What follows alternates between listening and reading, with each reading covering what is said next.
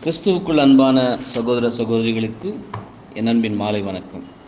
இரவின் இனிய கீதங்கள் ஜூன் பதினைந்து.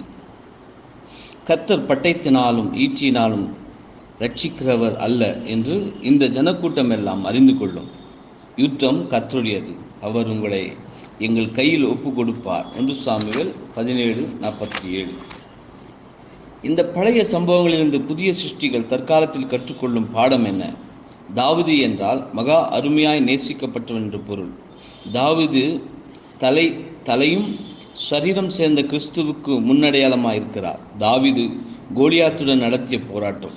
நமது கத்தராகிய இயேசு நாற்பது நாள் உபவாசத்திற்கு பின் வனாந்தரத்திலே சோதனைக்காரனுடன் நடத்திய போராட்டத்திற்கு ஒத்தது.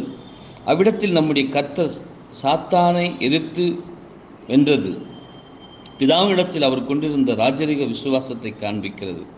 அதோடு கூட தம்மிடம் ஒப்படைக்கப்பட்ட பணியை இயேசு எவ்வாறு செய்தார் என்பதையும் சோதனையின் வேளையிலும் சோர்ந்து போகாமல் எந்த தியாகத்திற்கு ஆயத்தமாய் இருந்ததால் வெற்றியை பெற்றார்.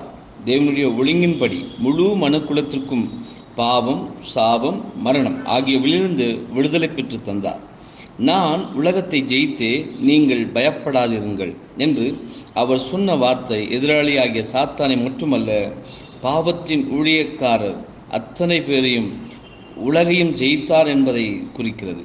அவர் தேவனிடத்தில் விசுவாசமுள்ளவராயிருந்தார். தேவனோடு தாம் செய்து கொண்ட உடன்படிக்கையை நிறைவேற்ற என்று எழுதியிருக்கிறது என்ற சத்தியமாகிய கூழாங்கல்லினாலே சாத்தானை வீழ்த்தினார். மனித மலை போல இருந்த கோலியாத் தாவிதின் முன் தரைமற்றமாக விழுந்தான். அதுபோலவே இயேசு கிறிஸ்துவும் சாத்தானை வீழ்த்தினார்.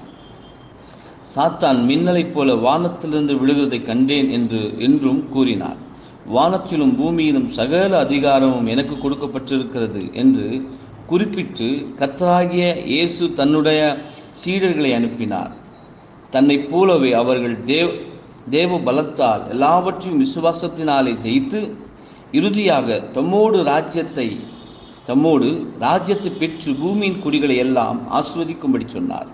அப்பொழுது அவர் தம்முடைய பரிசுத்தவான்களுக்குள்ளே இப்படிப்பட்ட ஆவியின் கிரியை நடப்பித்துக் கொண்டிருக்கிறார் என்பதே. ஆமேன்.